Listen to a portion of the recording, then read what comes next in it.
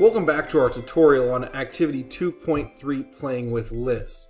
Today we're going to take a closer look at how to access information that's been stored in a static list. Now in our last tutorial we took a closer look at what the difference between a static and a dynamic list are. We then went ahead and created a static list in MIT App Inventor and now we're going to learn how to actually retrieve that information that's been entered. One thing to keep in mind about static lists is that this has preset data, and that data is not going to change at any time while the app is actually running. Now we have two ways that we can actually retrieve this information. One way is by simply picking a random item from the list. This is going to identify all the indexes within your list and randomly select one of them. Now you do have a chance for the same list item to be selected multiple times when doing this, so the more choices you have, the better off you are of not repeating one of those list items.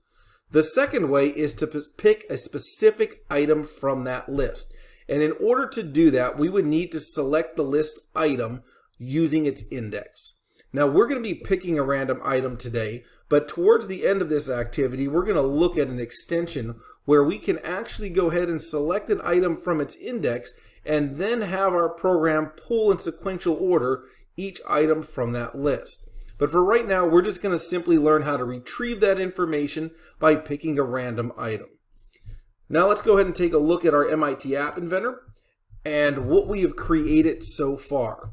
So here you can see during our last session that we went ahead and created a global variable.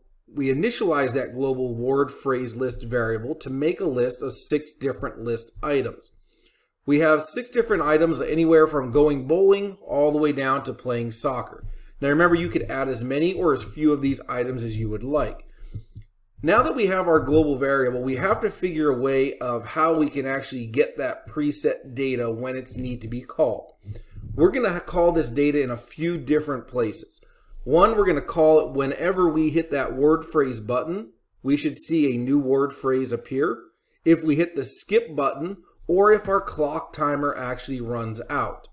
So if we're going to be doing this a few different times, what we're going to want to look at doing is creating a new variable that's going to make it easier for us to call that actual command to work. So let's go ahead to our procedure drawer. And from that procedure drawer, we're going to go ahead and call a to procedure do block. From here, we can go ahead and rename this and let's call this pick next word and from there, we can go ahead and put our commands in. Now, what we basically need to have happen when we call that next word to appear is we want to have the item label in our user interface pick a random item from our list. So if we go back to our design view, what we're looking for to actually change here is this item label. So somewhere in this block, we're going to want to have that phrase appear. So we're going to change the text. And remember, our text right now is blank. So we're going to actually have that phrase appear right in the middle of that block. So in order to do this, we're going to go and find that item. So if we scroll down, we find our item label. And we're going to want to find the set item labels text. And once we go ahead and add that in, we're going to want to go ahead to our list and find our pick random item from list. And now we need to identify which list we are using. And since we've placed our list in a global variable, we're just simply going to go ahead and get that variable. And that's going to be called our global word phrase list. Now, anytime we go ahead and call that procedure to happen, it's going to go ahead and pick a random item, being anywhere from bowling to building a campfire, having a food fight, and so on, to appear in that item label. Now, one other thing we have to keep in mind is that some of the design requirements from us also said that anytime we go to a new word or phrase, we should also reset the timer. So while we're in this procedure, let's go ahead and call our reset timer. So if we go into that procedure, we've already created another procedure called reset timer. So we're simply going to call that to happen as well. So now anytime we call that pick next word, we're going to basically set our item label text to pick a random number from our global word phrase list and reset the timer. Now the first place that this is going to happen is if we go ahead and click on that word phrase button. So we have our word phrase button up at the top of the screen. And if we click on that, that's where we want that word or phrase to appear. So once we find that word phrase button, let's select a new event handler called word phrase button click.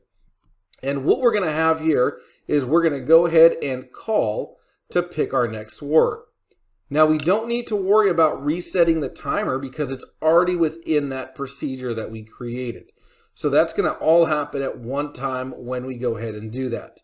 So if we test that out on our app and we go ahead and select our word phrase, you should see that now we have having a food fight.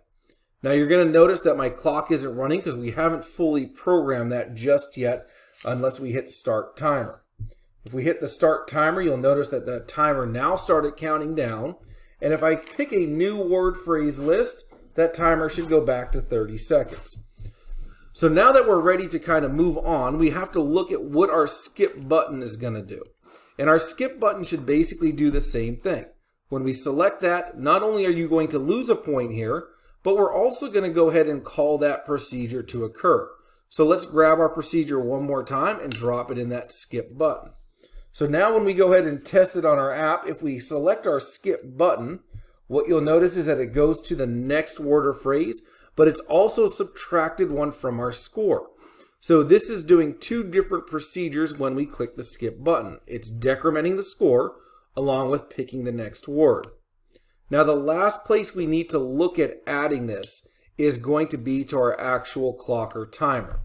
So if the global time left is equal to zero, we want our player one to start. We're going to decrement the score. We're going to set the clock to false, but we're also going to go ahead and pick that next word. So make sure that that pick next word is within that if statement. Now you've created basically a procedure that's going to allow you to access the data that you have in your static list.